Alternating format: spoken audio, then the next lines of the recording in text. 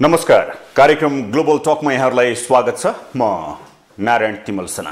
Para दर्शकहरू अन्तत विशेष गरेर जुन बबन्डर संसदमा भयो र त्यसपछि जसरी संसदीय समिति बन्यो संसदीय समितिले जुन छानबिन गर्यो त्यो संसदीय समिति समितिले अन्तत सफाइ दियो र अर्थमन्त्री हिजो मात्रै फेरि पुनर्नियुक्ति भएका छन्। यता यो परिस्थिति छ भने यता प्रतिपक्षी दल नेकपा एमाले महँगी नियन्त्रण र विशेष गरी भ्रष्टाचार र अर्थमन्त्रीकै विषयलाई लिएर आज विरोध पनि प्रदर्शन गर्दैछ। यो विरोध कसरी हुँदैछ? संसदीय समितिले कसरी काम गर्यो र एमाले किन समर्थन मौन समर्थन गर्यो? अहिले प्रश्न यहाँनिर उठेको छ।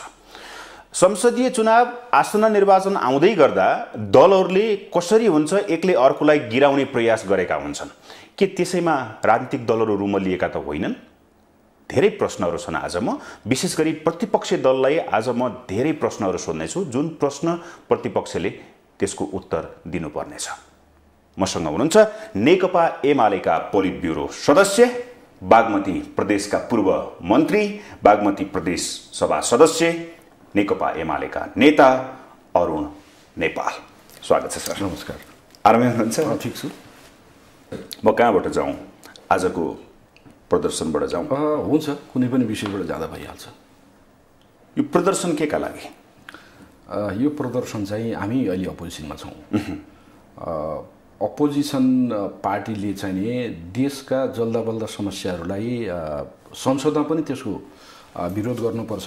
संसदमा संसदको माध्यमद्वारा पनि त्यसलाई उजागर गर्नुपर्छ र सँगसँगै त्यसलाई जनताकोमा पनि लानुपर्छ जनता समक्ष पनि लानुपर्छ। हामी सबैलाई थाहा छ अहिले यति धेरै मूल्य वृद्धि भएको छ जनतालाई बाँच्न धौधौ परेको छ। पेट्रोलियम पदार्थमा यो ढङ्गको मूल्य वृद्धि भएको छ। त्यो पेट्रोलियम पदार्थमा मूल्य वृद्धि हुने बित्तिकै ढुवानी यसै पनि महँगो भएको छ। कुनै नियन्त्रण छैन केही पनि छैन। र सामान्य चाहिँ आम्दानी भएका जनताले जीवन धान्न असाध्यै गाह्रो छ। र यो प्रतिपक्षले यो विषय उठाउनुपर्छ। यो जनताको विषय हो जनताको जीवनसँग सम्बन्धित विषय हो। हामीले नियन्त्रण गरियोस् मूल्य वृद्धि भन्ने आशयका साथ आज यो प्रदर्शन गरेका छौँ। सँगसँगै देशमा अरू धेरै प्रश्नहरू उठेका छन्। हामी सबैलाई थाहा छ बजेट बनाउँदाखेरि अनाधिकृत व्यक्ति बजेट निर्माणमा संलग्न भएको भनेर चर्चा भयो। यहाँहरू सबैलाई थाहा छ। राष्ट्रिय मिडियाहरूले त्यो कुरा बाहिर ल्याए। त्यो विषय पनि आज यो विरोध प्रदर्शनको विषय हो। यो सबै पक्ष छ यसमा। भ्रष्टाचारलाई पनि जोड्नु भएको छ। जोडेका छौँ हामी। तर यहाँनिर एउटा प्रश्न आएको छ सर। यसको एन्सर दिनु होला तपाईँहरूले चाहिँ आमसभा गर्दै हुनुहुन्छ महँगी भ्रष्टाचार अर्थमन्त्रीको बजेट निर्माणको क्रमको विषय। तर भ्रष्टाचार विरुद्ध महँगी विरुद्ध बोलेर जनतालाई उपदेश दिने मात्र र पार्टी स्वयं चाहिँ कतिको इमान्दार छ त भन्ने प्रश्न चाहिँ आम जनताले गरेका छन्। अब हाम्रो बारेमा एमालेको बारेमा भन्नुभएको होला यो कुरा होइन? हामी खुला छौँ। यदि हाम्रा बारेमा नेकपा एमालेको बारेमा त्यस्ता प्रश्नहरू उठेका छन् भने खोजी होस् खोजी होस् अध्ययन होस्। यदि कहीँ कतै हाम्रा साथीहरू चुकेका रहेछन् भने मलाई विश्वास छ चुकेको छैन चुक्नु भएको छैन उहाँहरू। यदि चुक्नु भएको रहेछ भने कारवाही गर्दा भयो नि। कारवाही गर्दा भयो यत्र पार्टीहरू छन् अहिले संसदमा हामी प्रतिपक्षमा छौँ सरकारमा हामी छैनौँ। एउटा कुरा हुन्छ। वर्तमान सरकारले भ्रष्टाचार गरेन महँगी नियन्त्रण गरेन महँगी यो सरकारकामा पा यो सरकारका पालामा बढ्यो यसमा त शाश्वत सत्य छ। भएको छ। तर एमाले र एमाले नेतृत्व गरेको बेलामा कुनै भ्रष्टाचारै थिएन कुनै केही नै थिएन भन्ने चाहिँ आधार के के छ ल भन्नुहोस् त तपाईँले यसलाई यसरी हेर्नुपर्छ हामीले। हाम्रो समाज चाहिँ हाम्रो सिस्टम यस्तो बनाइएको छ त्यहाँ चाहिँ अनेक खालका लुपहोलहरू छन्। र त्यहाँ अनियमितता हुन्छ। त्यहाँ चाहिँ नि कतिपय नगर्न पर्ने कुराहरू हुन्छ। म आफै पनि प्रदेश स्तरकै सरकारमा बसेर मन्त्री भएर काम गरेर आएको मान्छे हो। र यस्ता खालका ठाउँहरू छन् त्यो हामीले त्यसलाई रोक्न सकेका छैनौँ। त्यो रोकिएको छैन। बाहिरबाट नदेखिए पनि त्यो भित्रभित्र धेरै कुरो भइरहेको छ। एकदम हाम्रो समाज सफा छ। हाम्रो सिस्टम एकदम ठिक छ। होइन कहीँ कतै चाहिँ अपारदर्शिता हुँदैन भन्न मैले यस्तो दावी गर्दिनँ। धेरै कुरा गर्न बाँकी छ। त्यो नीतिगत ढङ्गले कानुनी ढङ्गले व्यावहारिक ढङ्गले मान्छेको मनोविज्ञानलाई परिवर्तन गर्ने ढङ्गले यो धेरै काम गर्न बाँकी छ। होइन यो एउटा पाटो हो आम पाटो हो। यसलाई अलिक दीर्घकालिक ढङ्गले हामीले समाधान गर्नुपर्छ। अब मैले अघि उठाउँदै थिएँ जसरी अहिले प्रश्न गर्नुभयो नेकपा एमाले कसरी त्यो चाहिँ गर्न सक्छ? जनताले चाहिँ कसरी विश्वास गर्ने भन्ने प्रश्न उठाउनु भयो। नेकपा मैले अघि भने नेकपा एमाले त खुला छ नि। यदि हामीले भ्रष्टाचार अनियमितता यो चाहिँ राष्ट्रका विरुद्धको अपराध हो। होइन? यो राष्ट्रका विरुद्धको अपराध हो। विरुद्धको अपराध हो। अब तपाईँलाई म बताउँछु। तपाईँहरूले अहिले गरिराख्दाखेरि मैले यसको विरोध गरेको होइन। मैले जस्ट जनताले उठाएको प्रश्नमाथि प्रश्न गरेको छु तपाईँले त्यसको एन्सर दिनुहोला। यदि भ्रष्टाचार केही थिएन भने सङ्गठित भ्रष्टाचार थिएन भने राजनैतिक दलहरू त अहिले क्लिन हुनुपर्ने नि होइन? तर तपाईँहरूलाई आरोप छ कि यति काण्ड ओम्नी काण्ड बतास काण्डहरू तपाईँहरूको सरकारका पालामा आएका थिए। त्यसै त पक्कै पनि आएनन् होला होइन? अनि गोकर्ण रिसोर्टको सम्झौताको काण्ड अनि छ वर्ष अगाडि नै कौडीको भाउमा यतिसम्मलाई जिम्मा लगाइएको कुरा अनि त्यसपछि कुलमानलाई चाहिँ पाखा लगाइयो भन्ने कुरा तपाईँहरूलाई आएको आरोप अनि सत्तरी करोडको टेप काण्ड। तपाईँहरूको पालामा नआएको त होइन नि। तपाईँहरूले अर्ती विपक्षमा हुँदाखेरि अर्ती उपदेश जनतालाई दिने। तर आफूले चाहिँ नियन्त्रण गर्न नसक्ने अर्कालाई सम्झाउन सक्ने। भनेको कस्तो भने कोही व्यक्तिको चरित्र हुन्छ नि। त्यस्तै चरित्र एमालेमा हो। यसलाई मैले अघि पनि भनेको छु प्रश्नहरू उठेका छन्। उठे। होइन? उठाइयो। ती कति सत्य छन्? कति सत्य छैनन्? कति यथार्थ हुन्? कति चाहिँ नि कपोल कल्पित हुन्? यो बारेमा गरौँ छानबिन। गरौँ। होइन? हामी तयार छौँ। यदि हाम्रा कोही साथीहरू नेकपा एमालेका कोही साथीहरू चुकेको पुष्टि हुन्छ भने त्यो पार्टीले पनि कारवाही गर्छ पार्टी कारवाही गर्न तयार छ। त्यो राज्यले पनि कारवाही गरे हुन्छ। कानुन अनुसार। हामीले त बारम्बार भनेका छौँ यो कुरा। संसदमा यो कुरा उठेको छ बाहिर उठेको छ तर यो त गर्दैन कसैले पनि। किन गर्दैन? गरे भयो नि। कसले रोकेको छ? पहुँच त छ नि त। नै। मैले अघि पनि भने संसदमा अहिले एमाले कुराहरू एमाले चाहिँ नि सरकारमा छैन। एमाले संसदमा अल्पमत छ। गठबन्धन बहुमतमा छ। त्यस कारणले गर्दा उसले शासन चलाइरहेछ। उसले गरे भने के के बनाउनुपर्छ के के गर्नुपर्छ समिति होला छानबिन होला के होला त्यो गर्दा हो होइन हामी पनि के चाहन्छौँ भन्दाखेरि हाम्रा बारेमा उठेका विषयको बारेमा हामी प्रष्ट हुन चाहन्छौँ। कति बेठिक हो बेठिक भएको हदसम्म को कोले कारवाही बिहोर्नु पर्ने बिहोर्दा भयो। होइन यत्तिकै आरोप लागेको स्थितिमा क्लिन चिट पाउनु पर्यो। होइन यो खालको चाहिँ तपाईँको मतलब आरोप त हामी बिहोर्न तयार छैनौँ। हामीले त गर्न सक्दैनौँ यो कुरा। होइन अहिले संसदमा हामीले कुनै त्यस्तो समिति बनाएर सरकारमा समिति बनाएर गर्ने ठाउँमा त हामी छैनौँ। अध्ययन गर्ने ठाउँमा त छैनौँ। हो यो सरकारले गर्दा गर्दा हुन्छ। गर्दा हुन्छ। दुधले नुहाएको छैनौँ भन्ने चाहिँ छ नि त यस्तो छ। अब के हुन्छ भने समाज यो हो होइन सबै चाहिँ दुधले नुहाएको होइन सबै चाहिँ एकदम ठिकठाक। यस्तो दाबी मैले गरेँ भने यो झुट दाबी हुन्छ। मैले झुट दाबी गर्दिनँ। मान्छे हो समाज यो हो त्यसले गर्दा कहीँ कतै कोही चुकेको पनि हुनसक्छ नहुन पनि सक्छ।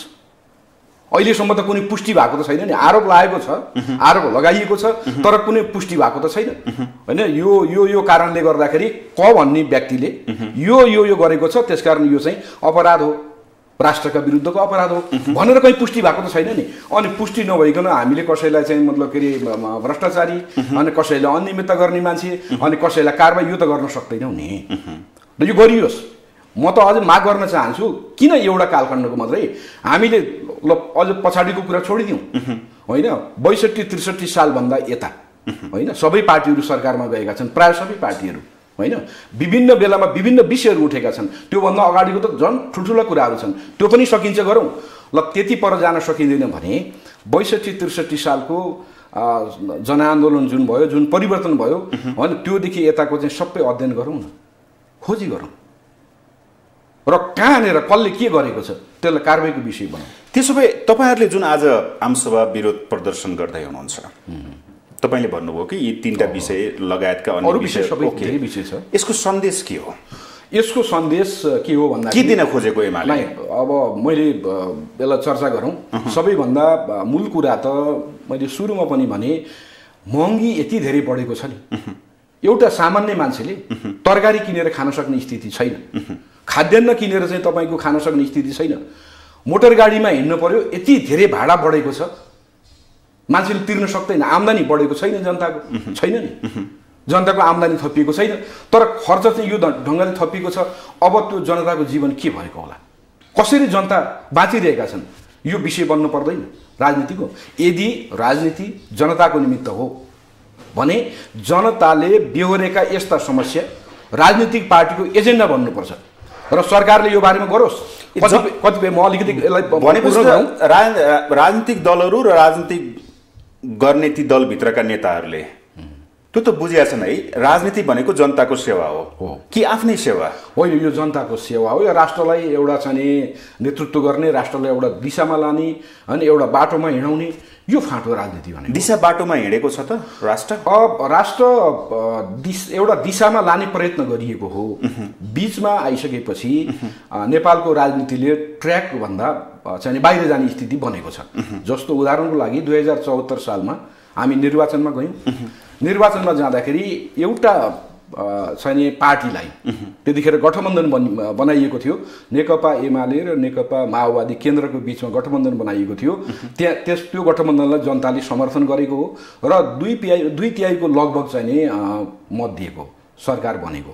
होइन त्यसले एउटा दिशा लिन्थ्यो होइन सरकारमा स्थिरता जो हाम्रो देशमा सरकारको स्थिरता कहिल्यै भएन त्यो स्थिरता प्राप्त गर्ने एउटा चाहिँ महत्त्वपूर्ण अवसर हामीलाई प्राप्त भएको थियो र त्यो गुमेको छ।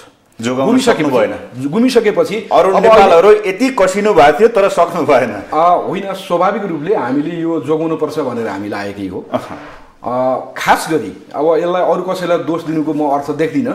हामी बिचकै मतलब समस्याहरूलाई हामीले समाधान गर्न सकेनौँ। हामी बिचकै भनेको हामी बिचको भनेको त्यतिखेरको नेपाल कम्युनिस्ट पार्टी नेकपाको बिचमा जुन खालको अन्तर्विरोधहरू विकास भयो त्यसलाई हामीले चाहिँ व्यवस्थापन गर्न सकेनौँ। सैद्धान्तिक व्यवस्थापन व्यक्तिगत। सैद्धान्तिक कि व्यक्तिगत? यसमा अन्तर्विरोध सैद्धान्तिक थियो कि व्यक्तिगत तिनवटा कुरा हेर्नुपर्छ।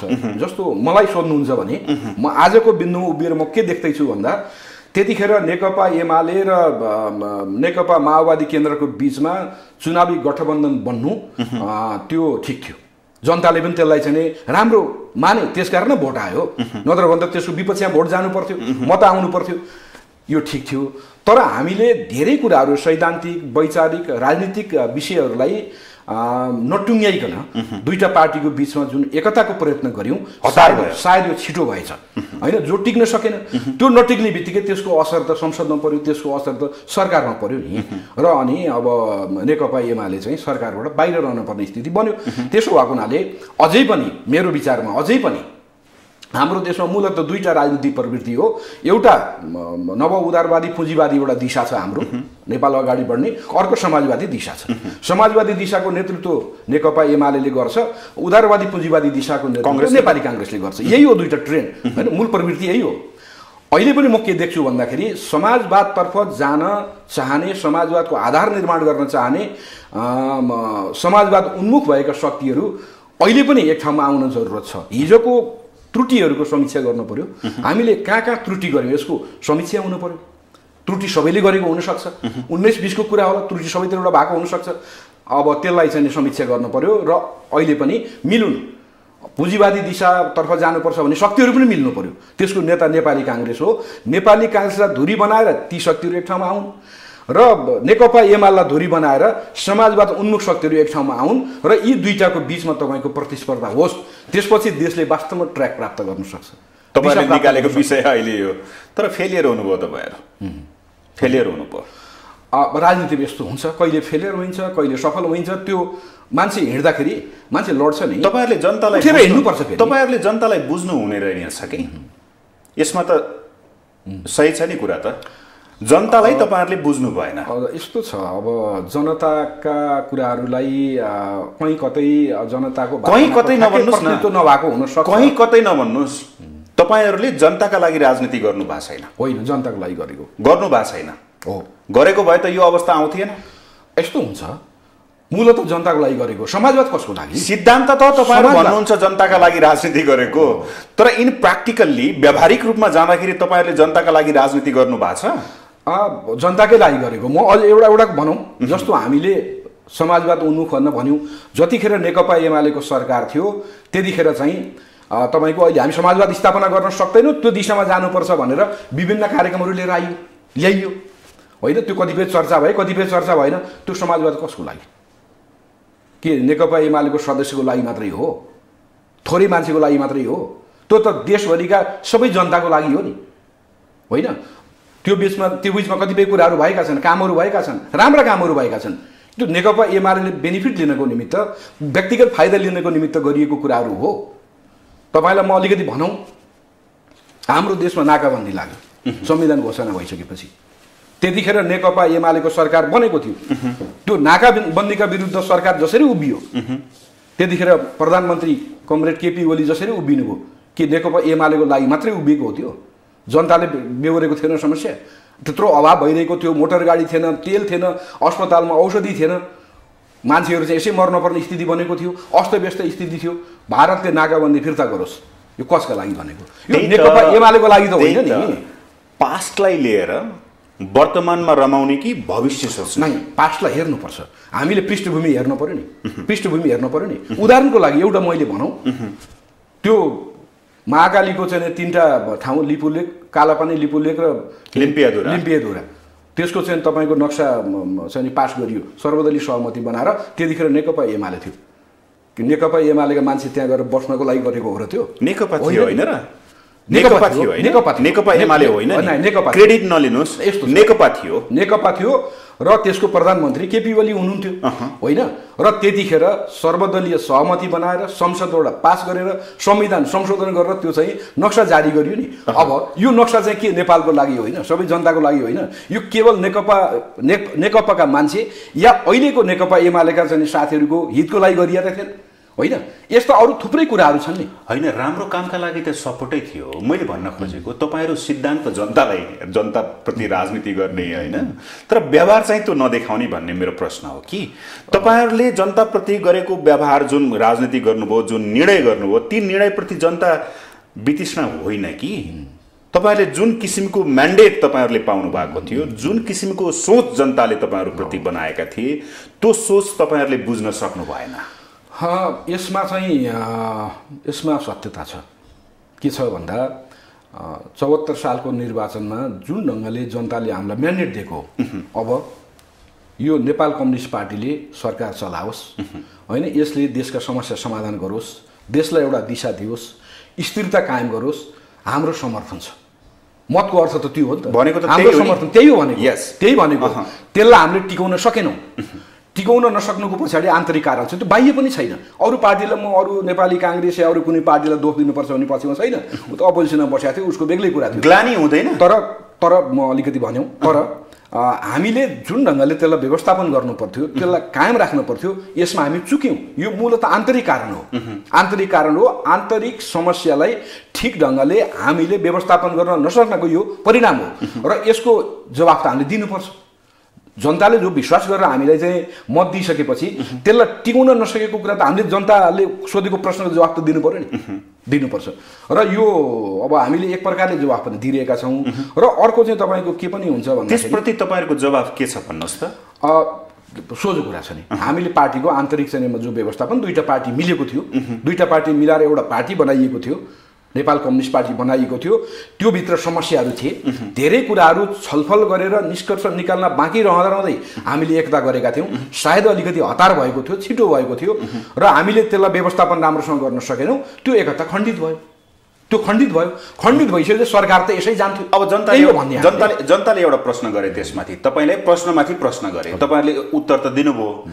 एउटा पार्टी व्यवस्थापन गर्न नसक्ने पार्टीले देश सञ्चालन गर्छ भनेर कसरी विश्वास गर्ने तपाईँहरूलाई? होइन एउटा घटनालाई समग्रता ठान्नु हुँदैन। घटनामा एउटा घटनामा कहीँ चुकिएको पनि हुनसक्छ कहीँ त्रुटि भएको पनि हुनसक्छ मिलाउन नसकेको पनि हुनसक्छ। त्यसको अर्थ अब सदा सर्वदा चाहिँ तपाईँको मतलब यस्तै हुन्छ भनेर मतलब निष्कर्ष निकालियो भने त्यो निष्कर्ष सही हुँदैन। गलत हुन्छ। त्यसो भएको हुनाले अहिले तपाईँको स्थानीय तहको निर्वाचनमा पनि हामी चुनाव जित्ने भनेरै गएका थियौँ। नेकपा एमाले चुनावमा विजय प्राप्त गर्ने राम्रै विजय प्राप्त गर्ने भनेर गएको थियो। चुनावमा जाँदाखेरि भोटको हिसाबले मतको हिसाबले नेकपा एमाले सबभन्दा ठुलो पार्टी त बन्यो। बन्यो। तर परिणामको हिसाबले सिटको हिसाबले हामी त्यस्तो भएनौँ होइन? यसलाई विश्लेषण गर्दाखेरि सम्भवतः हामीले हिजो गरेका यी कुराहरूको बारेमा पनि जनतालाई यथोचित जवाफ दिन अझै बाँकी रहेछ। अझै हामीले चित्त बुझाउन सकेका रहेछौँ भन्दाखेरि यसलाई त गर्नु पर्यो नि हामीले। गरेको छ नेतृत्वले? गर्छौँ किन नगर? नेकपा एमाले जनताको पार्टी हो। यसको छुट्टै कुनै अर्को कुरा छैन। नेकपा एमालेको छुट्टै कुनै अभिष्ट छैन कुनै लक्ष्य छैन उद्देश्य छैन जनताको भनाइ हो जनताको चाहना त्यो त्यो हाम्रो एजेन्डा हो। राजनीतिक दलहरूले त भन्छन् कि जनताको चाहना जे हो त्यो एजेन्डा हो। तर तपाईँले भन्नुभयो पार्टीको आन्तरिक विषयले गर्दाखेरि पार्टी विभाजन भयो। यी समग्र कुराहरू छन् भोलि तपाईँहरूले जवाब दिनु होला आसन्न निर्वाचन आउँदैछ म त्यस विषयमा आउँछु। यसमा अझ म अलिकति जाउँ है। मलाई लाग्छ पहिलो निर्वाचन छयालिस सालको आन्दोलनपछि पहिलो निर्वाचन। गिरिजा प्रसाद कोइराला प्रधानमन्त्री हुनुहुन्थ्यो। पूर्ण बहुमत थियो। संसद विघटन भयो। त्यसपछि तपाईँको मतलब निर्वाचनमा चाहिँ गिरिजा बाबु जानुभयो घटना त हिजो पनि घटेको छ नि। त्यो कुनै एमालेको कारणले गर्दा भएको थिएन। एमाले चाहिँ संसद विघटन गर्नुपर्छ भनेको थियो गर्नु हुँदैन चाहिँ भनेको थियो। होइन त? गिरिजा प्र- प्रसादले कोइरालाले विघटन गर्नुभयो किन गर्नु भन्दा आन्तरिक कारणले गर्दा गर्नुभयो त्यतिखेर चाहिँ म त छत्तिसजना नेपाली काङ्ग्रेसका सांसदहरूले सरकारको विरोध गरे। अप्ठ्यारो पर्ने स्थिति बन्यो बहुमत गुम्ने स्थिति बन्यो त्यसपछि उहाँले विघटन गरिदिनु भयो। त्यसले गर्दा यस्तो घटना हाम्रो देशको राजनीतिमा घटेको छ। हो यो ठिक कि बेठिक यो उचित कि अनुचित यो बेग्लै छलफलको विषय भयो। संविधानमा नलेख्ने। तर यो कुरा त हिजो पनि भएको छ। हिजोको कुरालाई सम्झेर चाहिँ गरिदिने। नै मैले हिजो जुन कुरा कुरा भयो त्यसैलाई अब चाहिँ सबैले कन्टिन्यू गर्नुपर्छ भन्ने कुरो होइन। मैले भनेको पार्टीभित्रका खास गरी रुलिङ पार्टीभित्रको समस्याले देशको राजनीतिलाई प्रभावित गर्दो रहेछ। त्यो हिजो पनि भएको छ र अहिले पनि भयो। र सम्भवतः भोलि पनि हुन सक्ला। बिना छलफल? एक्कासी गरिदिन मिल्छ र भने? संविधान तपाईँहरूले संविधानमा लेख्नु भएको थियो अब यदि यस्तो भयो भने चाहिँ संसद विघटन गर्न पाउने भनेर लेख्नु भएको थियो संविधानमा। के भनेर छ? के भनेको छ भने संसद विघटन चाहिने त्यसमा संसद विघटनको एक दुई तिन चार भनेर चाहिँ बुँदाहरू राखिएको छ। र सरकार संसद बारम्बार विघटन गर्ने जुन हिजो खेल खेलियो यसले अस्तित्व निम्ति आयो त्यसले गर्दा संसद सकेसम्म विघटन नहोस् भनेर अन्तिम बुँदा होइन? अरू कुनै बहुमतको सरकार पनि बनेन होइन? त्यसपछि गएर चाहिँ नि मतलब संयुक्त सरकार पनि बन्ने स्थिति बनेन होइन? म चाहिँ नि एकल पार्टीको सरकार पनि बन्ने स्थिति बनेन। होइन कुनै सरकारको सम्भावना रहेन भने अन्तिममा चाहिँ निर्वाचनको विकल्पमा जानुपर्छ भन्ने संवैधानिक व्यवस्था छ। तपाईँहरूले संवैधानिक व्यवस्था यस्तो गरे होइन संसद बार बार विघटन हुन सक्छ पाँच वर्ष यसको कार्यकाल पूर्ण हुनुपर्छ भने हो भने हो। लेखे हो नि तपाईँहरूले होइन? त्यही त म त्यही भन्दैछु। संविधानमा यी चार पाँचवटा पाँचवटा जति व्यवस्था छ त्यसमध्ये चाहिँ त्यो कुनै पनि व्यवस्था भएन भने बल्ल संसद विघटन गरेर संसद विघटन गर्नु हाम्रो गलत निर्णय थियो भन्ने चाहिँ त्यो रियलाइज छ कि छैन? अब मैले अघि अलिकति भने नि। यति गम्भीर विषय बनेको थियो। तपाईँको के भएको थियो भने जनताले पक्नुहोस् है। जनताले तपाईँहरूलाई संसद किन विघटन गरेको दुई दुई पटक भनेर सोध्यो भने त्यसको एन्सर तपाईँले के दिनु यसको एन्सर के हुन्छ? मैले अघि भने यो आन्तरिक कुरा हो प्रधान भन्न भने। कुरा के थियो भन्दाखेरि तपाईँको सिटिङ प्रधानमन्त्री सिटिङ प्रधानमन्त्री र पार्टीको पहिलो अध्यक्ष। का विरुद्ध जुन खालको तपाईँको मतलब सार्वजनिक ढङ्गले आक्षेप लाउने काम भयो त्यो सामान्य राजनीतिक आक्षेप मात्रै थिएन। होइन? राजनीतिक ढङ्गले कसैलाई भन्न सकिन्छ। विरोध पनि गर्न सकिन्छ।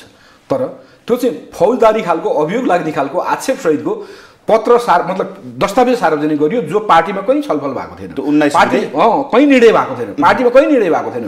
म आफै पनि त तपाईँको पार्टीको केन्द्रीय कमिटीको सदस्य त हो नि। तर कहीँ निर्णय नभइकन पार्टीको चाहिँ नि लोगो प्रयोग गरेर पार्टी केन्द्रीय कार्य कार्यालयको नाम प्रयोग गरेर जसरी सार्वजनिक गरियो त्यसले त तपाईँको के हुन्थ्यो भन्दा एकदम नेपालमा नयाँ घटना घट्थ्यो। सिटिङ प्रधानमन्त्रीलाई होइन नेकपा एमालेको कार्यकारी अध्यक्षलाई होइन फौजदारी अभियोग लाएर चाहिँ मतलब कारवाही गर्नुपर्ने हुन्थ्यो। राजनीतिक राजनीतिक अस्तित्व नै सकिन लागेको बेलामा बाध्य भएर संसद होइन एकदम यो। बाध्यता एकदम बाध्यता यो यो यो गर्न हुँदैन थियो ओके। तर बाध्यता थियो। गर्न हुँदैन थियो तर बाध्यता थियो। ओके ठिक छ। अब म अर्को पाटोमा आउन चाहेँ सर। यसलाई अलिकति च्याप्टर क्लोज गरौँ। विरोध प्रदर्शन गर्दै हुनुहुन्छ। सरकारलाई झकझक्याउने प्रतिपक्षको भूमिका हो। गर्नुहोस् ठिक छ त्यसमा। तर पछिल्लो समयमा नेकपा एमालेको दोहोरो चरित्र देखियो। न विरोध देखिन्छ न समर्थन देखिन्छ। अहिले आएको प्रश्न यो छ। यसप्रति तपाईँको धारणा के छ? कुन विषयमा? चाहे त्यो एमसिसीको विषय होस् चाहे त्यो अहिले अर्थमन्त्रीको विषय होस् चाहे त्यो नागरिकताको विषय होस् यी विषयमा विरोध गरे जस्तो पनि गर्ने। तर जुन अडान एमाले भन्छ नि हामी राष्ट्रियताको सवालमा हामी एकदमै छौँ भनेर जुन भन्नुहुन्छ तपाईँले पास्टको कुरालाई लिइराख्नुहुन्छ। त्यो अडान किन नभएको? दोहोरो चरित्र किन देखाउनुहुन्छ तपाईँहरू? अब यसलाई दोहोरै चरित्र त नभनौँ। अब एमसिसीको बारेमा अहिले पनि देश चाहिँ नि विभाजितै छ दुईवटा धारणा छ। एउटा एमसिसी पास गर्नुपर्छ भन्ने पक्ष छ। सिङ्गो देशमा समाजमा। र एउटा एमसिसी चाहिँ मतलब यो बेठिक थियो पास गर्न हुँदैन भन्ने एउटा पक्ष छ। तपाईँहरूको धारणा के अब? नेकपा एमाले भित्र नेकपा एमाले भित्र तपाईँलाई आज मैले भनौँ होइन? यो एमसिसीको बारेमा होइन? अब स्थायी कमिटीमा छलफल भयो कि भएन भएको भए बाहिर आउँथ्यो। मलाई धेरै याद भएन त्यो बाहिर आएको छैन। पोलिट ब्युरो र केन्द्रीय कमिटीभित्र एमसिसीको बारेमा छलफल भएको छैन। होइन? छैन। छैन छैन छैन। छलफलै भएको छैन यो बारेमा। यो बारेमा हाम्रा फरक फरक धारणा पनि हुनसक्छ। जब छलफल नहुन्जेलसम्म त तपाईँको एउटा दृष्टिकोण राख्न पाइयो नि। होइन? र त्यतिखेर के थियो भन्दाखेरि नेकपा एमाले चाहिँ संसद अवरुद्ध गर्ने क्रममा थियो। लामै समय भइसकेको थियो। होइन? खास गरी एमालेलाई विभाजन गर्ने जुन प्रयत्न गरियो त्यो गैर कानुनी थियो। गैर कानुनी ढङ्गले विभाजन गरियो। त्यस्तै केस हुँदाखेरि केही मान्छेलाई चाहिँ केही सांसदलाई संसदबाट हटाइएको थियो। र त्यस्तै केस हुँदाखेरि अब केहीलाई चाहिँ हटाइएन। होइन त्यो राजनीतिक स्वार्थको निमित्त यो काम गरिएको थियो। र यो चाहिँ कानुनको एकरूपता भएन। यो पक्षपातपूर्ण प्रयोग भयो। होइन यसो गर्न पाइँदैन भनेर नेकपा एमाले आन्दोलनमा थियो संसदभित्र अवरुद्ध भइरहेको थियो। अब त्यही बेला चाहिँ तपाईँको संसद बाट यसलाई पास गरियो। अब केही राजनीतिक शक्तिहरू के थियो भने जसरी भए पनि यसलाई पास गर्ने जसरी भए पनि पास गर्ने। उहाँहरूको त त्यो त अभिष्टै थियो लक्ष्य नै थियो। उहाँहरूले पास गर्नुभयो। अब तपाईँहरूले किन मतलब स- संसदमा हल्ला हङ्गामा गर्न सक्नु भएन? किन गर्नु भएन भन्ने खालको जहाँसम्म कुरा छ हल्ला हङ्गामा त भएकै हो नि। त्यतिखेर त मतलब यो तपाईँहरूको हल्ला हङ्गामा अर्कै तरिकाको थियो। यो एमसिसीको विषयमा तपाईँहरू सरकारमा हुँदाखेरि नेकपा सरकारमा हुँदाखेरि कृष्ण बहादुर महराले संसदमा टेबल गर्न दिएन भनेर तपाईँहरूले विरोध गरे हो कि होइन? अब यो चाहिँ बाहिर पुष्टि नभएको कुरा हो।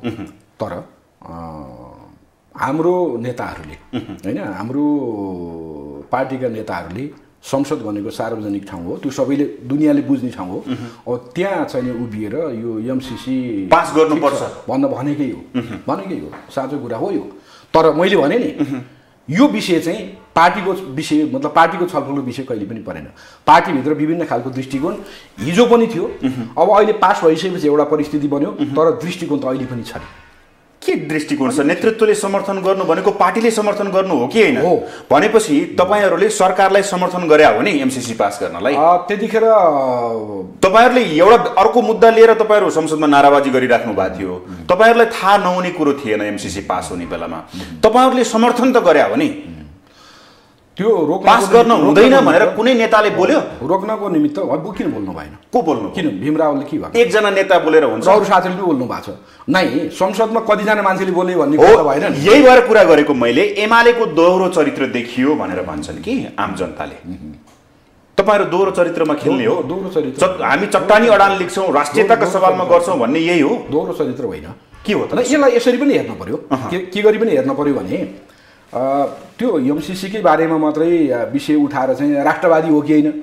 भनेर भन्ने कुरा त्यो कति आफैमा मतलब न्यायपूर्ण छ त्यो हेर्नु पर्छ। अर्को अर्को म अलिकति भनिहालौँ न विषय उठेपछि भन्नुपर्छ। त्यो राष्ट्रवाद भनेको चाहिँ के हो? के हो राष्ट्रवाद भनेको? केलाई राष्ट्रवाद भनेको त्यो राष्ट्रवाद भनेको एउटा फिलिङ हो। म नेपाली हुँ। म नेपाली हुँ। होइन? मेरो आफ्नो भूमि छ। त्यो भूमिमा कसैले हस्तक्षेप नगरोस् मेरो आफ्नो सिस्टम छ। मेरो स्वतन्त्रता छ। मेरा जनता छन् मेरो आफ्नो भाषा। मतलब एउटा त्यो भावना हो कि राष्ट्रवाद भनेको? होइन? यो कुनै भौतिक वस्तु भन्दा नि भावना हो। त्यसो भएको हुनाले त्यो भावनालाई खण्डित गर्ने काम हामीले गर्नु हुँदैन। त्यो गरियो भने हामीले राष्ट्रवाद राष्ट्रवादको पछि पोषण गरेको भन्ने अर्थ लाग्दैन। अब राष्ट्रवादको सवालमा हामीले समीक्षा गर्न सकौँला विभिन्न प्रश्नहरूको बारेमा मतलब उठेका विषयको बारेमा समीक्षा गरौँला। तर नेकपा एमाले महत्त्वपूर्ण जङ्क्चरहरूमा राष्ट्रवादको पक्षमा खर उत्रेको छ नि। हामीले इतिहास पनि हेरौँ ओके ल ठिक छ। यसलाई यसलाई मैले एमसिसीलाई रोकेँ। तपाईँहरूले जेठ चौध गतेको सिसिटिभी फुटेज चाहियो चाहियो चाहियो चाहियो अर्थमन्त्रीले राजीनामा दिन पर्यो पर्यो पर्यो भनेर अन्तत बाध्य भएर अर्थमन्त्रीले राजीनामा दिनुभयो एउटा संसदीय समिति बनायो सरकारले। संसदीय समिति बनाइसकेपछि अर्थमन्त्रीले राजीनामा दिनुभयो। त्यो संसदीय समितिले जुन किसिमको छानबिन गर्यो जुन किसिमको प्रतिवेदन तयार गर्यो सफाइ पाउनुभयो अर्थमन्त्रीले।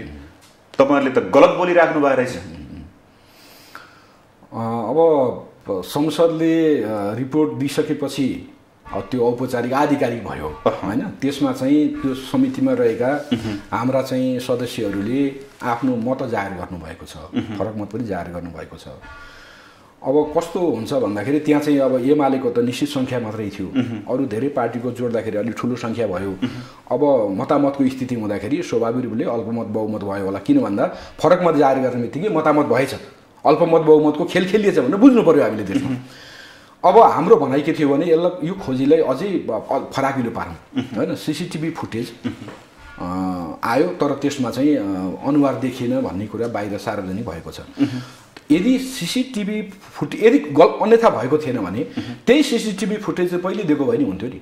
अर्थमन्त्रीले यो किन दिने सिसिटिभी? यो फुटेज किन दिने? ती माग गर्ने को हुन्? त्यो नेकपा एमाले भनेको को हो जसले यो हेर्न चाहिरहेछ किन दिने त्यसलाई? भन्ने ढङ्गले प्रस्तुत हुनु के जरुरत थियो? होइन तीभित्रका कर्मचारीले त्यहाँभित्र किन भाग भयो स्वयं सचिवले अर्थ सचिवले फलानु मान्छे मन्त्री हुन्जेलसम्म म आउँदिनँ अब मन्त्रालय आउँदिनँ भनेर प्रधानमन्त्री कर्मचारी भनेको थाई सरकार हुन्छ राजनीतिक दलबाट गएका मन्त्री भनेका अस्थायी हुन्छन्। ती बेला बेलामा परिवर्तन हुन्छ। एउटा नैतिकताको आधारमा पनि कर्मचारी यस्तो विवादमा बस्नुभन्दा विधा वस्तु बस्नु राम्रो हुन्छ भन्नु त स्वाभाविकै हो नि। किन त्यसो किन भन्नु पर्यो त? फलानु मन्त्री हुन्जेलसम्म गर्दिनँ भनेर दालमा केही कालो त रहेछ नि। होइन? रहेछ नि। तपाईँको एउटा भनाइ चाहिँ अघि पनि तपाईँले भन्नुभयो विषय नभइकन कसरी उठ्छ भनेर। हुँदै नभएको कसरी भयो त? त्यसो भए त यत्रो मिडियाकै झुटको आधारमा मात्रै चल्छ। यत्र ठुल्ठुलो मिडियाहरूले यो किन हाइलाइट गरे? हुँदै नभएको कुरो भने किन हाइलाइट गरे? केहीले केही त पक्कै भएको छ। अब हामीले भनेको के हो भने परिचालित गरे भन्छन् यसको- खोजी गरौँ। त्यो मलाई थाहा छैन त्यो होइन भन्ने लाग्छ। खोजी गरौँ यसको। राम्रो खोजी गरौँ। होइन? कर्मचारीहरूलाई चाहिँ ठिक ढङ्गले बयान लियो कि लिएन? होइन? तपाईँको त्यो चाहिँ मतलब सिसिटिभी त एक ठाउँमा मात्रै धेरै ठाउँमा होला नि त सिंहदरबार त। धेरै ठाउँबाट हेर्न मिल्छ होला। के अरे अर्थ मन्त्रालयभित्र पस्नको निमित्त धेरैवटा सिसिटिभी क्यामेरा चाहिँ पार गरेर जानुपर्छ होला। त्यो सबै कति हेऱ्यो कति हेरिएन। विवादमा आएका आक्षेप लागेका मान्छेहरूलाई बोलाएर बयान लियो कि लिएन। होइन अहिले चर्चा के भएको छ भने अनाधिकारिक मान्छे जो बजेट बनाउने बेलामा अर्थ मन्त्रालयमा थिए उनीलाई खोजी नै गरिएन बयानै लिएन भन्दै भनिएन। कर्मचारीहरूलाई पनि एकैचोटि सबैलाई लाइन लागेर चाहिँ तपाईँ एकै ठाउँ राखेर बयान लियो पर्खनुहोस्। प्रतिवेदन त तपाईँहरूले नै बनाएको होइन। चारजना सांसद त तपाईँहरूकै थिएनन्। थियो। लेख्नलाई लेख्न तपाईँहरूले किन त्यो मजाले तयार हुनुको कारण के? यस्तो हो। त्यसमा त विमति छ नि त हाम्रो। त्यसमा नोट अफ डिसिसन भने कि? फरक मत भने कि? यो प्रतिवेदनमा हाम्रो भनेको। हामी जोगिने प्रयास गरौँ। हामी सेफ साइडमा। बसौँ। एउटा एउटा बुझ्नु पर्ने यदि तपाईँहरूले उठाएको कुरा साँचो थियो भने तपाईँले नोट अफ डिसेन्ट लेख्नुपर्छ र भने। साँचो रहेछ भने त निस्कन्थ्यो नि प्रमाण. प्रमाण निस्केन तपाईँहरूकै सांसदहरूले सफाइ दिनुभयो। होइन यस्तो हो। त्यहाँ प्रमाण निकाल्नको निमित्त सत्तापक्षीय सांसदहरूले त्यो बारेमा खोजी गर्नै चाहनु भने धेरै पर जानै चाहनु भने किन भन्दा उहाँहरूलाई सकेसम्म छिटो ठिक छ। अर्थमन्त्रीलाई चोख्याउनु थियो नि। सत्ता गठबन्धनका नेताहरूले सांसदहरूले त्यो चोख्याउन प्रयास गरे होला। प्रतिपक्षबाट पनि त थिएन सदस्य थिएनन्। तपाईँहरूले। सुन्नुहोस् बाहिर विरोध गरे जस्तो गर्ने नोट अफ डिसेन्ट गरे जस्तो गर्ने तर शर्मालाई चाहिँ पुनर्नियुक्तिका लागि चाहिँ तपाईँहरूले समर्थन गर्ने होइन यो एकदम एकदम यो गलत कुरा हो शर्माजीलाई पुनर्नियुक्ति गर्नको निमित्त हामीले समर्थन गर्नुपर्ने कुनै कारण छैन। किन बसिरहेको? बारेमा धेरै प्रश्न उहाँलाई उहाँलाई। पक्नुहोस्। उहाँलाई आरोप लाग्यो उहाँले राजीनामा दिनुभयो। सरकारले उ गर्दाखेरि यो आरोप लागेको व्यक्तिलाई गर्न हुँदैन भनेर तपाईँहरूले चाहिँ किन नबोल्या? यस्तो हुन्छ। यो अहिले त बो मतलब यो बोलिया छ। अध्यक्षले बोल्नु भएको छ। कुरा के हुन्छ भने अध्यक्षले त के भन्नु भएको छ? संसदीय समितिलाई कल डिटेल हेर्न दिएन। हो यस्ता धेरै कुराहरू छन्। खोजीको विषयमा खोजी गर्दाखेरि जो दायरामा जानु पर्थ्यो त्यो दिएन। म अझ अर्को अघिल्लो प्रश्नमा आउँछु के? तपाईँको सरकार एउटाको छ शेरबहादुरजी प्रधानमन्त्री हुनुहुन्छ। पाँच दलीय गठबन्धन बनेको छ। अब पाँच दलीय गठबन्धनले ककल्ला मन्त्री बनाउँछ भन्ने कुरो चाहिँ नि मतलब पर- पर- प्रमुख प्रतिपक्षले सोध्छ र प्रमुख प्रतिपक्षले सिफारिस गर्ने हो र। होइन? वास्तवमा साँचो कुरा के हो भने उहाँले राजीनामा दिइसकेपछि र खोजीकै बारेमा यसरी प्रश्न उठेपछि जनार्दन शर्माजीलाई फेरि अर्थमन्त्री दिनु हुँदैन थियो। आजका मिडियाका हेडलाइन हेर्नुहोस् न किन दिएको रहेछ। उहाँ त गर्वका साथ जानु मिडियाहरूले जे भनेका छन् नि कतिपय काम गर्न बाँकी छ कतिपय कुरा बाँकी छ। मिडियाले यो सम्पन्न गर्नको लागि पठाइएको मिडियाले। के भन्छ भन्ने कुरा होइन। आम जनताले के भन्छन्। अझ म अर्को कुरा कुरा भन्छु। तपाईँलाई। के भन्छु भने देशको अर्थतन्त्र यो ढङ्गले सङ्कटपूर्ण हुँदैछ। यसको जिम्मा कसले पुग्छ हामी हाम्रो देश कतै श्रीलङ्का हुने हो कि? नेपालको आर्थिक अवस्था टाट पल्टिने हो कि? यो ढङ्गले मूल्य वृद्धि भइरहेको छ भोलि जनता खान नपाएर मर्ने स्थिति बनिरहेको छ यसको जिम्मा कसले बोक्ने यसको जिम्मा अर्थ मतलब तन्त्रको चाहिँ मतलब बागडोर समातेर बसेको होइन? अर्थमन्त्रीले लिनुपर्छ पर्दैन। यो बारेमा जवाफदेही हुनुपर्छ पर्दैन। ल एकछिन रिपोर्ट आयो उहाँहरू उहाँको पक्षमा आयो अरे। ओके ठिक छ त्यसलाई मानौँ। अब सबै? कुराको जिम्मा कसले कसले बोक्छ बोल्नुहुन्न? अहिलेको नयाँ बजेट पारित भएर कार्यान्वयनको चरणमा आयात प्रतिस्थापन गर्ने उत्पादन वृद्धि गरेर मुद्रा सञ्चिति वृद्धि गर्ने अहिले विदेशी मुद्रा सञ्चिति गर्ने मुख्य लक्ष्य अहिलेको बजेटमा त्यो छ। तर तपाईँहरूलाई म त्यहीँनिर आउन खोजेको गठबन्धन सरकारलाई निरन्तरता दिन क्लिन चिट त दिइयो ल ठिक छ। होइन? तर एमाले किन मौन बसेको? तपाईँहरू चाहिँ विशेष गरेर स शर्मालाई सफाइ दिने गरेर जुन प्रतिवेदन तपाईँहरू सम्मिलित लेख्नुभयो प्रतिवेदन ल्याउनु ल्याउनमा यो प्रतिवेदन ल्याउनुमा दलहरूभित्र स्वार्थ छ भनिन्छ। हो? म यस मानेमा यो प्रश्न गर्दैछु किनकि विभिन्न अर्थशास्त्रीहरू भन्छन् जनार्दन शर्मा र एमाले नेतृत्वसँग एउटै अनौपचारिक टिममा आबद्ध भएर आर्थिक क्रियाकलाप गरेका कारण खुलेर एमाले विरोध गर्न सकेन। यसमा कतिको सत्यता छ? यो सत्य छैन। एमाले नलागेको भएदेखि जनार्दन शर्माको राजीनामै आउँदैन थियो। होइन? राजीनामा त मतलब संसदमा यस्तो वातावरण बनायो नेकपा एमाले। त्यो राजीनामा- कारणले गर्दाखेरि राजीनामा उहाँको दिन बाध्य हुनु ओके राजीनामा? दिनुभयो? हो। अनि आफैले राजीनामा दिन लागेको व्यक्तिको बारेमा होइन? छानबिन गर्दाखेरि क्लिन चिट दिने गरी नेकपा एमाले यति सरल कुरा त बुझिदिनु पर्यो नि। यो त सरल कुरा हो। अर्थमन्त्रीले बेठिक गर्नुभयो। अर्थमन्त्रीको बारेमा प्रश्न उठ्यो। बजेटमा अनाधिकारिक मान्छे राखेर करको दर हेरफेर गरियो। यो गैर कानुनी छ र यो बेठिक। यो चाहिँ तपाईँ छानबिन हुनुपर्छ भनेर एमाले माग गर्ने।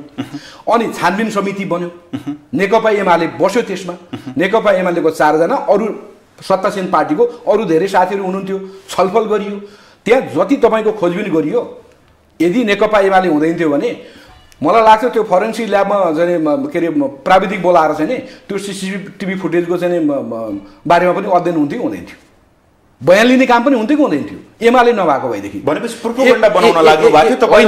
होइन बिल्कुल होइन। एमाले यी सबै कुरा गर्यो। तर एउटा बिन्दुमा पुगे चाहिँ के भयो भने यता अर्थ मन्त्रालयले पनि असहयोग गरेको सार्वजनिक भइसकेको छ। त्यही समितिभित्रका मान्छे यति भएपछि पुग्यो अब गर्न पर्दैन भनेर भन्न थाल्नु हो उहाँहरू बहुमतमा हुनुहुन्छ। त्यो पनि हो। नेकपा एमाले त चारजना मात्रै छ नि। त्यो पनि होइन। अर्को आरोप छ। म अझ म अझ कम्प्लिट गरौँ। अब अब प्रतिवेदन सात दिनको लागि मतलब यो आयोग सात दिनको लागि बनेको थियो। सात दिनमा सकिएन। अर्को सात दिन थपियो। होइन? र बुझाउनु पर्ने थियो। होइन? त्यसपछि तपाईँको के हुन थाल्यो भन्दाखेरि अब यति भए पुग्छ। अब यहाँभन्दा बेसी जानु हुँदैन भनेर सत्तासीन पार्टीका सांसदहरूले होइन त्यहाँभित्र चाहिँ मतलब यो खालको परिस्थिति निर्माण गर्नुभयो र प्रतिवेदन लेख्ने कुरा भयो। प्रतिवेदन त्यहाँ त सरकारी समिति हो नि त्यो त। संसदको समिति हो। औपचारिक ढङ्गले त्यहाँ कर्मचारी हुन्छन् सबैले त्यो काम गर्नुपर्छ। अनि त्यसपछि तपाईँको नेकपा एमाले पुगेको छैन यति अध्ययनले हुँदैन होइन? यति मात्रै मतलब के अरे कुरा गरेर पुग्दैन अरू फराकिलो दायरामा जाउँ होइन? जसरी तपाईँले त्यो अघि भन्नुभयो अध्यक्षले यो पनि माग गर्नुहुन्छ कल डिटेल यो सबै भन्नुभएको छ। यस्तै अरू धेरै कुराहरू गरौँ भन्दाखेरि अब नगर्ने यति भए पुग्यो भनेर उहाँहरूले प्रतिवेदन लेखन गर्नुभयो। अब समितिको सदस्य भइसकेपछि उहाँहरूले नभन्नुहोस् न तपाईँहरू पनि त सदस्य हुनुहुन्छ। छ तर हामी अल्पमतमा छौँ। अल्पमतमा छौँ र त्यो प्रतिवेदनप्रति विमति छ एमालेको। त्यसकारण त हाम्रा माननीयहरूले फरक मत दर्ज गर्नुभयो यो प्रतिवेदनको फाइन्डिङप्रति हाम्रो सहमति छैन। यो त सब भन्ने कुरा हो भन्ने एउटा गीत छ नि। अब अर्को अर्को पनि छ। अर्थमन्त्री जनार्दन शर्मा र तपाईँको नेतृत्व। एउटै व्यापारिक घरानाबाट आर्थिक सहायता लेनदेन गर्ने आर्थिक र अर्थसँगै जोडिएका कारण एमाले नेताहरूले विरोध गर्न सकेनन् जनार्दन शर्माको जति विरोध गर्नुपर्ने थियो कुरा त उठाए। अन्तत जनार्दन शर्मा फर्किनु भयो। अब यो आरोप हो आरोप हो। अब मलाई थाहा छैन म जान्दिनँ। अब कुन घरानासँग कसको के सम्बन्ध त्यो म जान्दिनँ। होइन थाहा नभएको विषयमा मैले धेरै बोल्दिनँ। जहाँसम्म जनार्दन शर्मा शर्माजीप्रति हाम्रो कुनै अरू असहमति पनि होइन। एमालेको के दुश्मनी छ र उहाँको? सँगै चुनाव लडेको चौहत्तर सालमा। होइन? उहाँ चुनाव लड्दाखेरि चाहिँ त्यतिखेर होइन एमालेको नि सहयोग थियो। होइन त्यसो भएको एकजना नेताले। के भन्नुभएको थियो भने मलाई हेर्दै जानु होला प्रमाणित हुन्छ बिना प्रमाण हामी बोलेका छैनौँ। एमालेकै नेताले यहीँ बसेर मसँग कुरा गर्नुभएको थियो? खोइ प्रमाण। क्लिन चिट दिएर पठाउनु भयो तपाईँहरूको चोचो मोचो माथि जति पनि मिल्छ बाहिर देखाउने स्टन्ट चाहिँ फरक हुन्छ भन्छन् कि राजनीतिमा? यसलाई यसरी बुझौँ क्या यो चोचो मोचो मिलेर गरेको होइन। भएको के हो भने अब सं त्यो संसदीय समिति छानबिन समितिमा हामी अल्पमतमा रह्यौँ। हामी अल्पमतमा थियौँ। कि हामीले भन्नु पऱ्यो अल्पमतको चाहिँ प्रतिवेदन मान्नुपर्छ भनेर भन्नु पऱ्यो डेमोक्रेसीमा हाम्रो लागि त हुन्थ्यो होला। तर डेमोक्रेसीमा त यो कुरो हुँदैन। एमालेलाई चुनावी प्रोपोगण्डा चाहिएको थियो फेल भयो एमाले। एमाले फेल पनि भएको छैन यो योजनामा। किनभने त्यो प्रतिवेदनप्रति उहाँलाई क्लिन चिट दिने जो प्रतिवेदन बनाइयो त्यसप्रति एमालेको विमति छ। त्यो त तपाईँ। बस्या हो जनतालाई देखाउने खालको। होइन साँचो कुरै यही हो साँचो कुरै यही हो सत्य कुरै यही हो। होइन भने नेकपा एमाले संसदीय समितिको माग किन गर्नु पर्थ्यो एमाले संसदीय समितिमा किन बस्नु पर्थ्यो राजीनामा दिनुहोस्। तपाईँले राजीनामा दिनु भएन भने एक प्रश्न उठ्यो नैतिक आधारमा राजीनामा दिनुपर्छ। अर्को तपाईँ चाहिँ अर्थ मन्त्रालयमा अर्थमन्त्री रहिरहनु भयो भने त तपाईँले प्रमाण नष्ट गर्न सक्नुहुन्छ अरू के प्रभावित गर्न सक्नुहुन्छ सारा कुरा हुन्छ भनेर भन्ने एमाले। अनि यो तमाम कुरा गरिसकेपछि अनि एमाले चाहिँ तपाईँको फेरि चाहिँ जोगाउन लाग्नुपर्ने यो त कुनै सङ्गति नमिलिया कुरा हुन्छ नि। तर एउटा कुरा हुने रहेछ कि सर जस्तै राजीनामा दे भन्दैमा राजीनामा दिनु र संसदीय प्रक्रियामा गइसकेपछि संवैधानिक प्रक्रियामा गइसकेपछि एउटा समिति बनेर उसलाई जिम्मा दिनु। डिफ्रेन्ट कुरा छ नि। जनार्दनको त्यो त पोजिटिभ पक्ष पक्ष मान्न मिल्छ कि मिल्दैन? अब उहाँले राजीनामा दिनुभयो त्यसलाई अब अन्यथा भन्न मिलेन राजीनामा दिनुभयो तर परिस्थिति यस्तो बनेको थियो कि राजीनामा नदिने हो भने यति ठुलो तपाईँको मतलब माहौल सिर्जना हुँदै थियो होइन? जनस्तरबाट प्रश्न उठेको त- त्यही त त्यो प्रश्न सबै आयो, तर राजनीतिक ढङ्गले प्रश्न उठेको संसदमा प्रश्न उठेको त्यो टिक्न त गाह्रो हुन्थ्यो नि। त्यसले गर्दा उहाँ राजीनामा दिनुभयो। भित्र उहाँहरूको के कुरा भयो मलाई थाहा छैन। अब यो यो प्रमाण यत्रो खोज्नुभयो तपाईँहरूले क्लिन चिट दिनुभयो। त्यो अर्को तपाईँहरूको पार्टीलाई पनि एउटा त्यो एम अधिकारी भन्ने मान्छेको आरोप आएको आइ गर्ने के? त्यो प्रमाण ल्याएर हो यो व्यक्ति हो भनेर एमाले किन देखाउन नसक्या? एम अधिकारी भन्ने मान्छे त्यो खोटाङको मान्छे हुनुहुन्न रहेछ नि होइन? देखाउन सक्नु भएन है तपाईँहरूले? अधिकारी अब हाम्रो आधिकारिक निकायले यम अधिकारी भने कुनै अर्को मान्छे हो होइन? राष्ट्र बैङ्कको गभर्नर होइन भनेर चाहिँ नि आधिकारिक ढङ्गले बोल्नु भएको छ। तर होइन यदि प्रमाण खोज्ने हो भने तपाईँहरूले पनि देखाइदिनुहोस् न एउटा तपाईँहरूले त्यत्रो प्रमाण अर्थमन्त्रीका बारेमा त्यत्रो प्रमाण जुटाउन खोज्नुभयो त्यत्रो प्रतिवेदन तयार गर्नुभयो केही पाउनु भएन। यी जति हल्ला गरिरहेछन् नि तपाईँहरूले पनि देखाइदिनु न एम अधिकारी भन्ने मान्छे यो हो खोटाङको भनेर देखाइदिएर के फरक पर्छ र?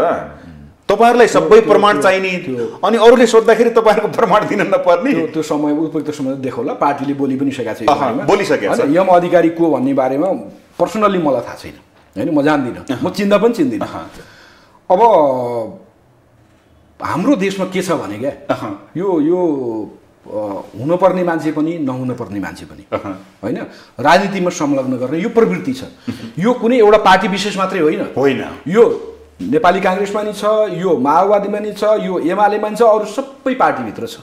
हामीले त तपाईँको हाम्रो देशका सबै कुराहरूलाई यति धेरै राजनीतिकरण गरेका छौँ नि। अहिले हामी जुन खालको विकृतिका बारेमा अनेक खालको अप्ठ्यारोका बारेमा चर्चा गर्छौँ नि एउटा कारण त यो पनि होला नि। यो पनि होला नि। स्वीकार्नुहुन्छ होइन? यो त आम रूपले मतलब भएको कुरा किन नस्वीकार्ने? होइन? तपाईँको हामीले न्यायाधीश नियुक्ति गर्छौँ। कसलाई गर्छौँ? दलगत। होइन? अनि हामीले अरू ठाउँमा चाहिँ तपाईँको मतलब जो संस्थानहरूमा नियुक्त गर्छौँ। जो निष्पक्ष हुनुपर्छ नि हो जो निष्पक्ष हुनुपर्छ नि। अब तपाईँले एउटा दलको सदस्य रहेको मान्छेलाई न्यायाधीश बनाउनु भयो भने फरक दलको मान्छेको मुद्दा पऱ्यो भने मेरो दल र ऊ जुन दलको प्रतिनिधित्व गर्छ उसको दल र विरोधी दलको मान्छेको बिचमा मुद्दा परेछ भने फैसला कस्तो आउला? के आउला फैसला तपाईँले त व्यवस्था नै त्यसले। गर्दाखेरि हाम्रो सिस्टममा यो करेक्सन गर्नुपर्ने विषय। जुन ठाउँ राजनीति गर्न हुनु हुँदैन त्यो वास्तवमै निष्पक्ष हुनुपर्छ। त्यसलाई निष्पक्ष राख्नुपर्छ। राजनीति गर्नु गर्नु हुँदैन। यो हाम्रो एउटा चाहिँ तपाईँको राजनीतिको राम्रो छलफलको विषय र निष्कर्ष निकाल्न पर्ने विषय हुनसक्छ। तपाईँको प्रहरीको कुरा गर्नुहोस्। प्रहरीको कुरा गर्नुहोस्। हरेक ठाउँमा सबै ठाउँमा यस्तो भएको छ। त्यसले गर्दाखेरि तपाईँको त्यो एउटा यम अधिकारीको झिक्रो समातेर हामी चाहिँ यम अधिकारीको यम अधिकारीको यम अधिकारीको भनेर भनिरहेको छौँ नि। को यम अधिकारी म भन्न सक्दिनँ मलाई थाहा छैन। तर प्रश्न यम अधिकारीको मात्रै होइन। प्रश्न यो जे हामीले गरिरहेका छौँ राजनीतिलाई जसरी प्रदूषित गरिरहेका छौँ हाम्रा संरचनाहरूलाई जसरी बिगारिरहेका छौँ होइन त्यहाँ चाहिँ जस्ता मान्छेहरूलाई पठाउने गरेका छौँ हो यो सिङ्गो सिस्टमको बारेमा यो सिङ्गो अवस्थाको बारेमा समीक्षा हुनुपर्छ र यसलाई रोक्नुपर्छ। यस्तो गरियो भने अरू धेरै कुराहरू करेक्सन हुनसक्छ। यो बारेमा खोइ छलफल? मिडियाका साथीहरूले यो विषय उठाउनु पर्यो? नि यो विषयलाई एकदम हाइलाइट गर्नु पर्यो। ओके। जनताले पनि विषय उठाउँछ यो यसरी ल्याउनु पर्यो विषयलाई। भनेपछि त्यो तपाईँको पार्टीले त्यो एम अधिकारी भन्ने मान्छे खोटाङको मान्छे देखाउँछ है कुनै न कुनै बेला। त्यो त यदि त्यो मान्छे छ भने त देखिन्छ नि नदेखिन्छ किन मान्छे छ भने तर देखिन्छ। तर के हुन्छ भन्दाखेरि कतिपय चाहिँ यस्तो हुने गरेको छ कि कोही त एनजिओतिर काम गरिरहेका छन् कोही कता कता काम गरिरहेका छन् होइन? ती कुनै पार्टीका मान्छे थिए हिजो होइन? अहिले विभिन्न पेसा गरिरहेका छन्। विभिन्न कारणले गर्दा उनीहरूको नाम सार्वजनिक गर्न नहुने त्यस्तो परिस्थिति होला कतिको कतिपयको। त्यसले गर्दा भनिदिनु त भएन। यस्ता कतिपय कुराहरू होलान् होइन? अब यम अधिकारीको बारेमा चाहिँ तपाईँलाई मैले पार्टीले जे भन्यो सम्बन्धित। जे भन्यो मैले त्यो मान्नुपर्छ। त्यो म मान्छु। अब व्यक्तिगत ढङ्गले मलाई सोध्नुहुन्छ भने को यम अधिकारी मलाई थाहा छैन। थाहा भयो पनि बोल्न मिलेन। होइन मलाई थाहा छैन म चिन्दिनँ। पार्टीले अनुशासन कारवाही गर्छ फेरि दण्ड चलाइहाल्छ गाह्रो छ नि त होइन। साँचो कुरा बोल्दाखेरि किन? ओके। साँचो कुरा त बोल्नु अब त्यसो भए अब आगा आसन्न निर्वाचन गठबन्धन यस्तो तयारी गरिरहेको छ तपाईँहरू पनि त्यही अनुसारको तयारीमा हुनुहुन्छ। के छ? मङ्सिरमा चुनाव हुन्छ भनेर सरकारले अब मिति तोक्दैछ भनेको छ। एमालेको तयारी कस्तो हो? कसरी अगाडि बढ्दैछ एमाले? अब एमाले चाहिँ नि अहिले एमालेको तयारी भनेको हामी चुनावमा एमाले जान्छ होइन? एमाले जान्छ र एमाले अहिलेसम्मको अवस्थामा एमाले एक्लै चुनावमा जानुपर्ने स्थिति छ। जसरी स्थानीय तहको निर्वाचनमा हामी एक्लै गयौँ होइन? अब संसदीय निर्वाचनमा पनि सम्भवतः हामी एक्लै जानुपर्ने हुनसक्छ। एक्लो हुनुभयो है तपाईँहरू? अब अहिले एक्लो पारिएको छ अब एक्लो भएका छौँ हामी। र एउटा बुझ्नुपर्ने कुरा के छ भने त्यो एक्लो हुँदाखेरि त्यो जुन मनोबलको विकास हुन्छ नि एक्लै गर्न सकिन्छ। भनेर जुन तपाईँको मानसिकता तयार हुन्छ नि त्यो मानसिक धेरै महत्त्वपूर्ण हुन्छ। त्यसले स्थापित गर्छ। केही समय क्षति पनि होला अलिकति अप्ठ्यारो पनि पर्ला। अस्तिको चुनावमा हामीले सिटको हिसाबले घटायौँ। तर हाम्रो पङ्क्तिमा एउटा के मनोविज्ञान विकास हामी एक्लै गर्न सक्छौँ र एक्लै जानुपर्छ। सकिँदो रहेछ। क्षति अलिकति होला। अलिकति अलिकति होइन अहिलेको परिस्थिति हेर्दाखेरि त धेरै क्षति हुने सम्भावना देखिन्छ। हुनसक्छ हुनसक्छ। त्यो आकलन गरेका छ नेतृत्वले। तपाईँले एउटा एउटा बुझ्नु न। एउटा मान्छे हिँड्दैछ दुईतिर बैशाखी टेकेको छ। होइन? होला बैशाखी टेकेर हिँडिया होला अलिकति यसो परसम्म जाला। एउटा मान्छे आफ्नो खुट्टामा चाहिँ उभिएर हिँडिया छ होइन? त्यो आफ्नो खुट्टामा उभिएर हिँडेको मान्छेमा गन्तव्यमा पुग्ने जुन तपाईँको मतलब के अरे त्यो आत्मविश्वास हुन्छ नि त्यो बैशाखी टेकेमा हुँदैन। र हामी अहिले बैशाखी बिहिन भएको छौँ बैशाखी छैन। हामी आफ्नै खुट्टामा उभिएका छौँ। जानेर यसो- गर्दाखेरि तपाईँको क्षति होला। त्यो क्षति हामी बेहोर्न तयार छौँ। बेहोर्नुपर्छ। बहुदलीय व्यवस्था हो एउटा चुनाव हारिन्छ।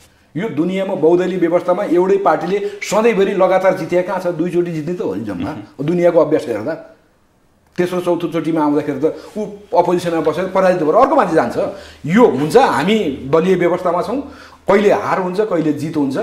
होइन अब चाहिँ अलिकति हार हुने बित्तिकै नेकपा एमाले हरास मतलब निराश हुने हताश हुने यस्तो खालको अवस्थामा छैन। एक दोस्रो कुरा अर्को पनि भन्नुपर्छ यति कुरा भइसकेपछि। परिस्थिति हामी एक्लै हिँड्नुपर्ने छ। नेपाली काङ्ग्रेसले यो यो गठबन्धन कायम राख्ने भनेर भनेको छ। अब अहिले अरू दलहरू पनि अब छलफल चलि गरिरहनु भएको छ।